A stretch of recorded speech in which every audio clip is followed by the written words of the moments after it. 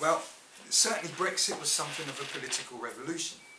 Britain's unwritten constitution is based upon parliamentary sovereignty, wherein Parliament has the right to make or unmake any law, and whereby no person or body has the right to override or set aside the legislation of Parliament.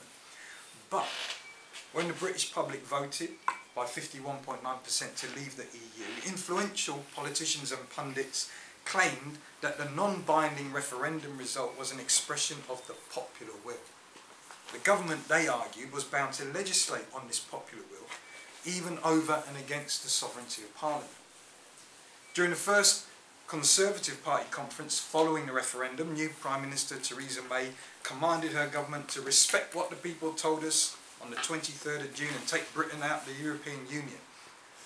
When in November, the High Court of Justice ruled that Parliament had to legislate on Brexit, the Daily Mail accused the judiciary of being enemies of the people. Meanwhile, Nigel Farage of UKIP warned that 100,000 strong People's Army would march on the Supreme Court. In describing at the beginning of last year, 2017, this time last year, what she envisaged to be Britain's post-EU shared society, Theresa May explicitly placed the ordinary working class as its prime deserving constituency.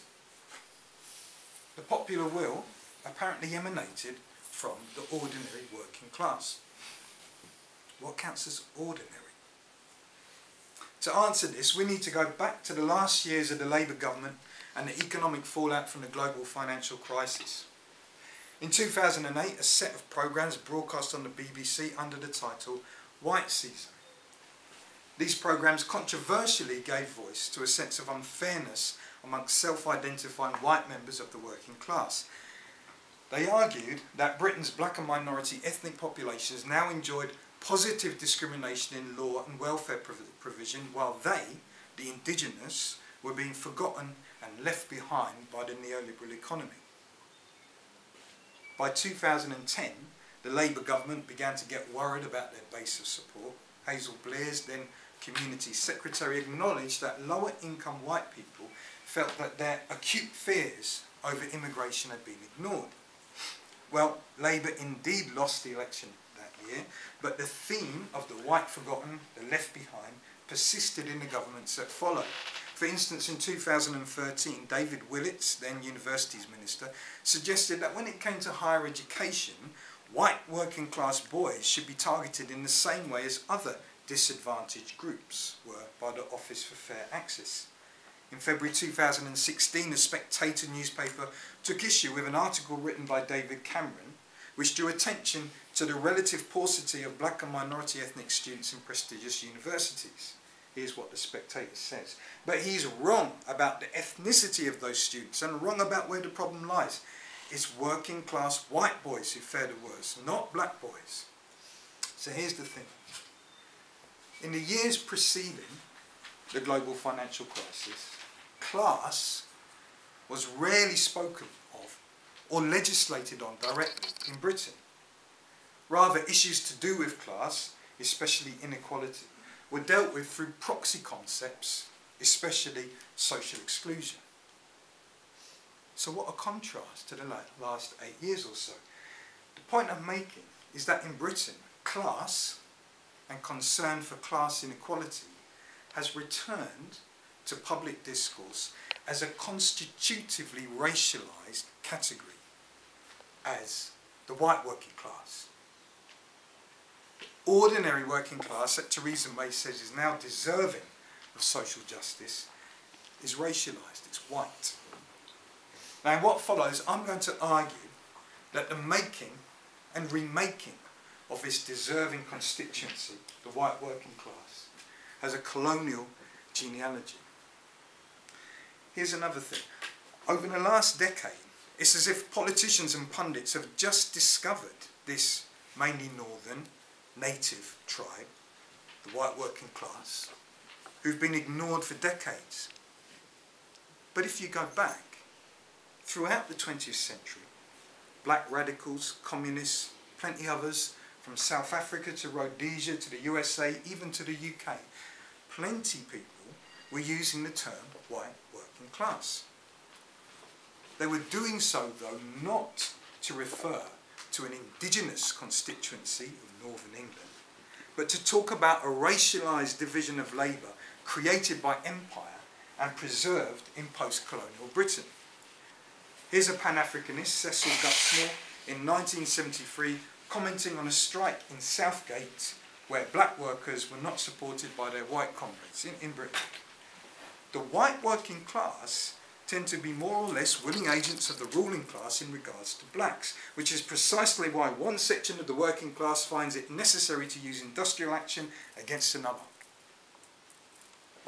Seems like contemporary politicians and pundits have chosen not to remember this longer genealogy of the white working class. That's convenient. So I'm going to argue that the white working class were made into a constituency through the racialisation of an abiding moral distinction between the deserving versus the undeserving poor. That's my key point. The white working class were made into a constituency through the racialisation of the distinction between deserving and undeserving poor. But to be really clear, this constituency has rarely been self-authored self-empowered or self-directed. Rather, this constituency is fundamentally an artifact of political domination. Now in what follows I'm going to selectively chart the shifting of these racialised distinctions across imperial time and space, how the deserving and the undeserving poor are made and remade, from the abolition of slavery to the high point of 19th century empire to the creation of the welfare state and Commonwealth Britain and finally to Brexit. Will we get through it? I don't know. Let's just see.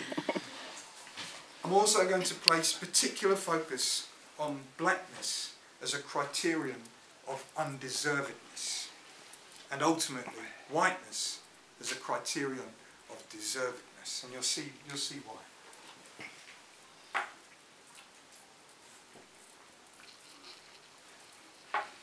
Used to have a much smaller laptop than this. so much better my arm.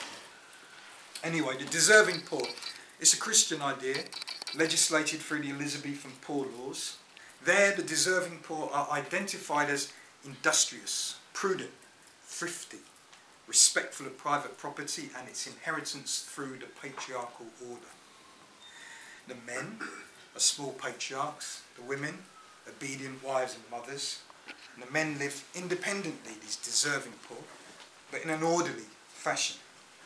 The undeserving, they're unchristian, idle, dependent, litigious, mercurial, irresponsible fathers, husbands, mothers, wives, disorderly.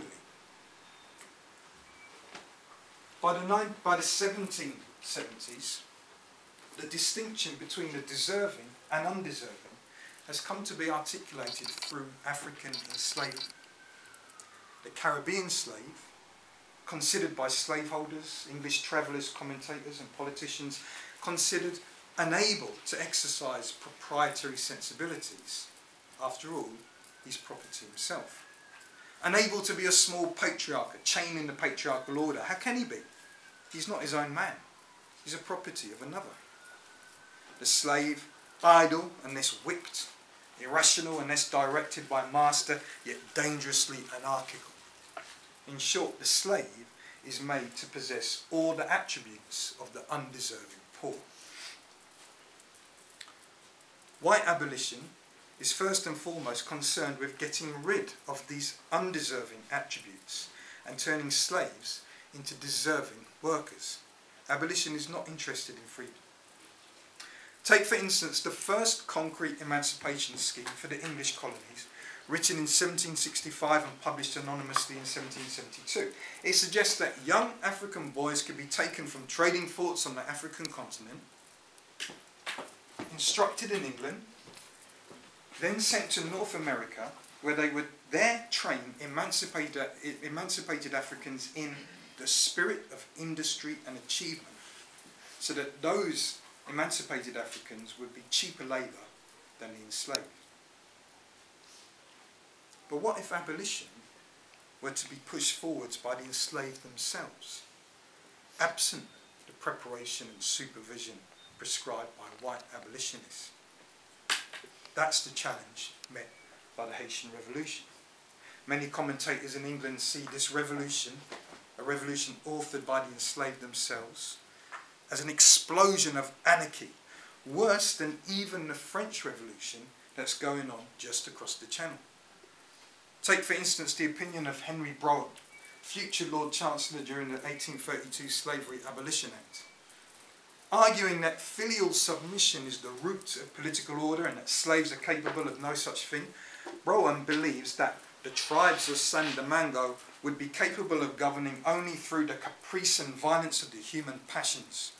Brougham worries that enslaved Africans in British colonies might learn from the example of Haiti. Hence, African barbarism might spread over the fairest portions of the New World.